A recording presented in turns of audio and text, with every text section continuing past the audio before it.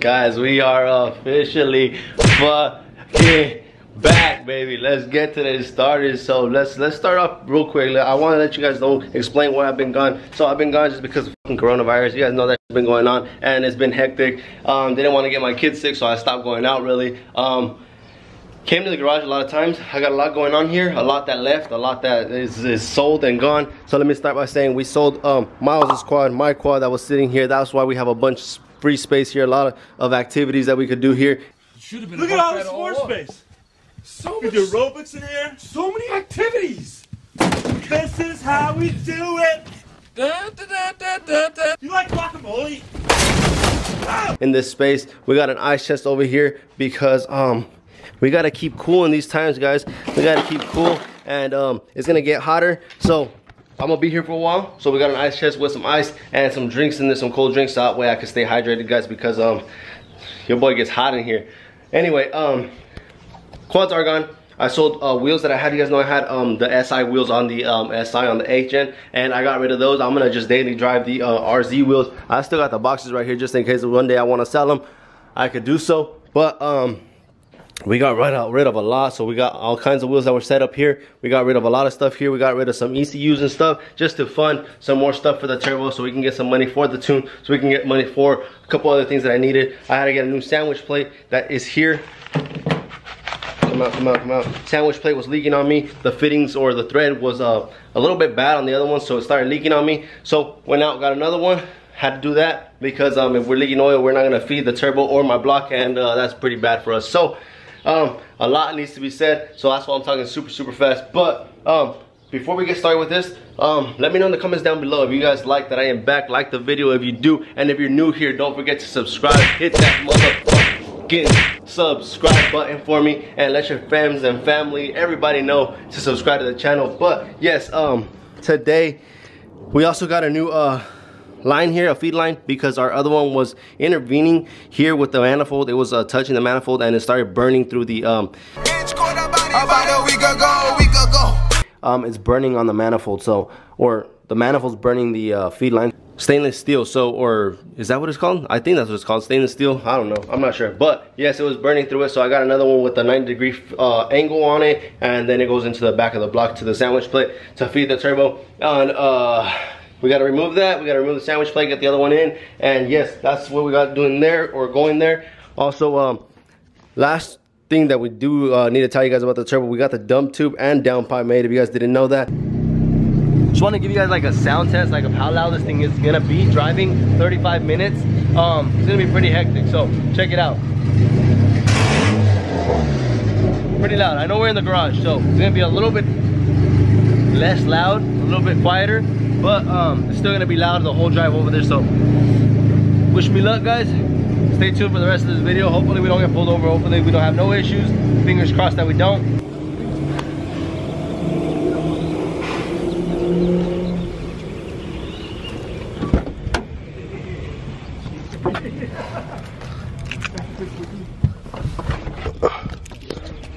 Let's go for startup. Everything is welded in. See how this baby sounds. I'll show you guys what it looks like after we turn this on. Ah, yes, so much quieter. Let me show you guys how we did this. So we got the downpipe and dump tube made.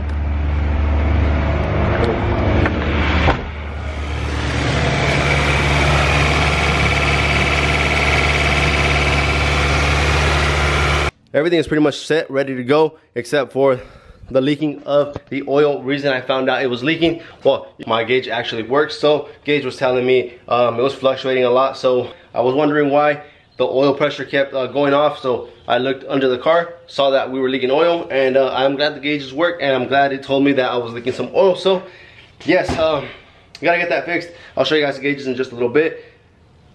Last things we need to do for the turbo are going to be uh, injectors, but we're gonna do that when we get to the shop because I'm gonna drive the car to the shop. Um, we have to put on the intakes and stuff, or like the, the piping towards the intake manifold because um, I've been running the, the car.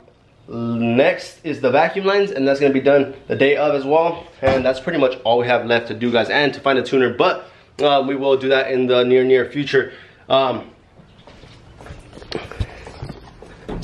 head in here. Gauges are done. You guys can see there. And I made a harness for the gauges too. Um, I don't know if you guys can see it. Yeah, this is, you guys are not gonna be able to see it. But I kind of made it as legit as I could. I gave everything their own little, yeah, this is the, the harness here. So I made it legit, as legit as I could. And then uh, everything is hooked onto everything with like little uh, butt connectors or like little ring terminals or like some some type of type of spade or female connect. I don't know what they're what they're called exactly. But yeah, I went out and bought a bunch of those.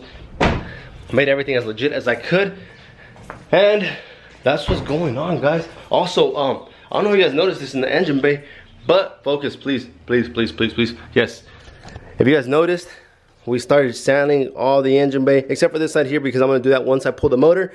But I'm trying to get the motor completely done, dynoed and everything, so that way I can pull the motor and then just throw everything back in once the car is painted or once the engine bay is painted. So yes, uh, engine bay is getting prepped right now for the near near future because this thing is raggedy. We do gotta get these um, holes fixed here. I don't know if you guys can see that. These holes right here, these shock tower uh, holes, we gotta get those fixed because they look raggedy as F. But yes guys, I'm back. Good to be back.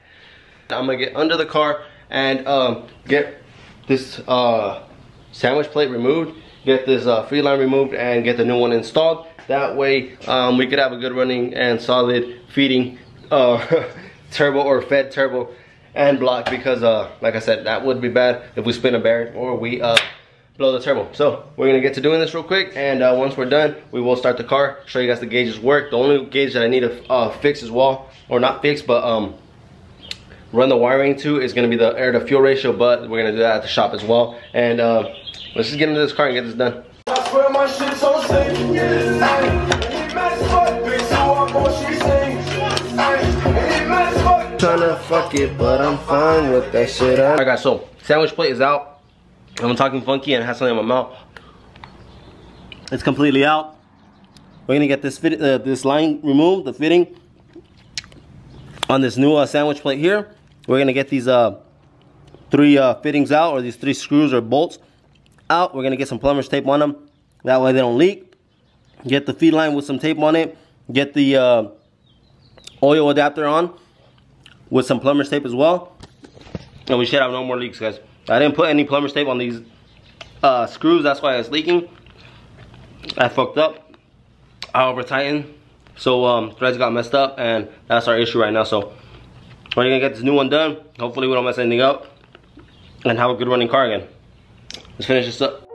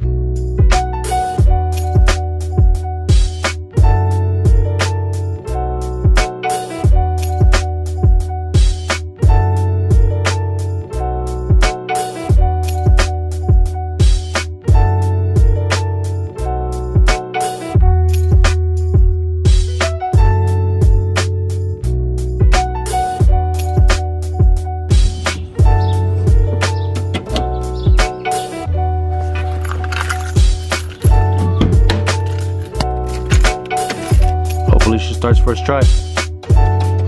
No battery. Let's connect these jumper cables.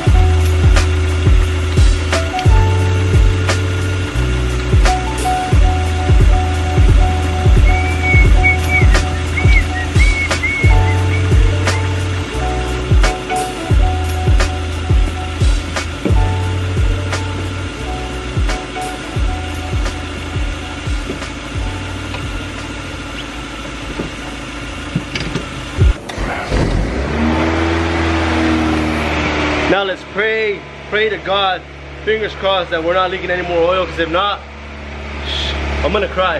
I'm gonna cry. And you guys can see we got a steady, steady uh, oil pressure now. That means I don't think we have a leak. So hopefully, hopefully we don't have a leak. I'm praying to God that I don't because I'll be so sad if we do. we would see drippage right here. I don't see no drippage so far. Hopefully it stays that way. It sounds like it because it's having a steady idle. Um, before it would fluctuate. And uh, also our, our uh, oil pressure is steady, steady, steady. So um, I think we're over the worst, hopefully. All right guys, so we let it sit for probably like two or three minutes now and I still have no leaks. I cleaned it up with some degreaser that I have over there and no leaks. So um, that's good news. Hopefully it stays this way. Um, I checked the fittings for um, the sandwich plate and they look like they're dry. The oil uh, uh, filter looks dry, so um, hopefully it stays that way.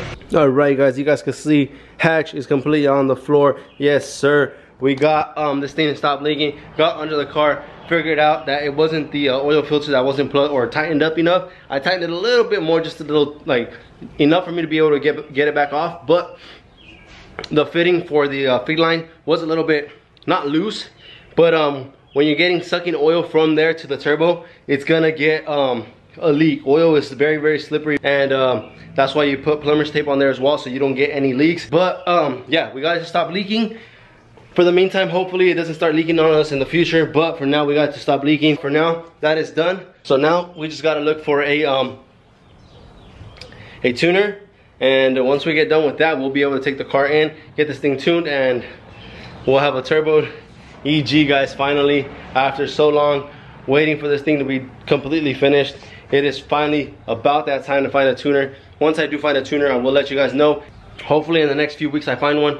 I'm gonna have to probably drive the thing all the way to LA. So it's gonna be a little bit hectic, a little bit sketchy. I'm gonna have to take tools with me. I'll make sure this thing doesn't leak on me. I'm gonna have to take a jack, uh, jack with me, jack stands, and hopefully we make it there.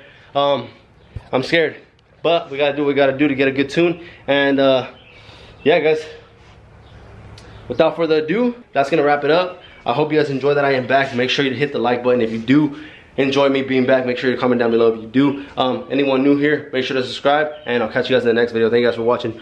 Peace.